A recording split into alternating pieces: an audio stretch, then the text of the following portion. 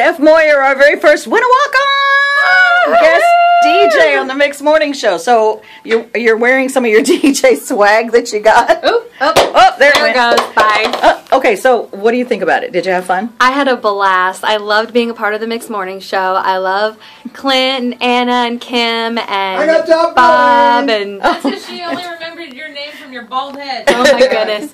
I just love being here. It's been a blast and it's been a great experience and hopefully I can do it again someday. Do you feel any differently about the Mix Morning Show now that you've seen the behind the scenes stuff?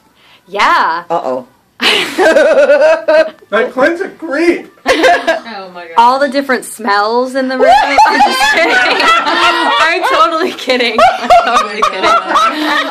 Um, no, it's been a great experience. I, I've been able to see and understand a little bit more about what you all do, and um, you guys are just brilliant. And so, Will you keep listening? yes, of course, She looked even at more me now. when she said brilliant. at me. And what station? Mix 92.9. Happy Friday!